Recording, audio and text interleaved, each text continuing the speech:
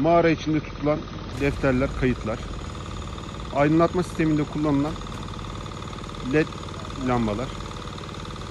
Bir adet UPS, bir adet ekran, bir adet Yasu el telsizi, iki adet sabit merkez Yasu telsiz,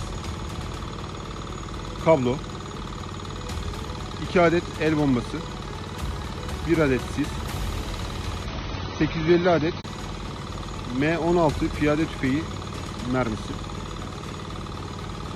yaklaşık 2000 adet PKM Bixi mermisi, 850 adet AK-47 Kalashnikov piyade tüfeği mermisi, RPG-7 roket atar, 1 adet Bixi,